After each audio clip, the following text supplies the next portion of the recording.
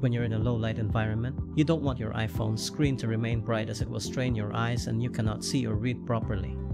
That's when the dark mode feature will come in handy. So in this video, we will show you how to enable dark mode on your iPhone 14 Pro.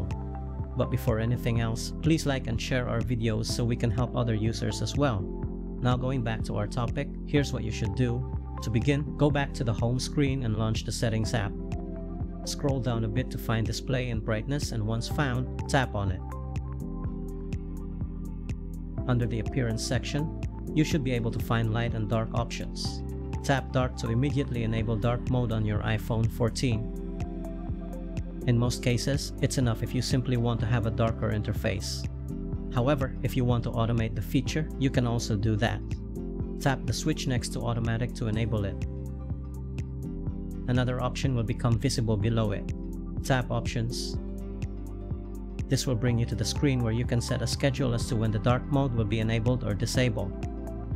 Tap Sunset to Sunrise to put a check beside it. This setting will depend on your region so make sure your iPhone has access to the location services. Tap Custom Schedule and a couple of options will appear below it. Set the light to the time you want dark mode to be disabled and set the time for the dark mode to be enabled.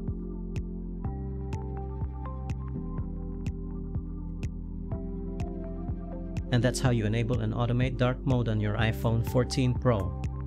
We hope this guide can help you one way or the other. You may subscribe to our channel or click one of our videos to continue watching. Have a great day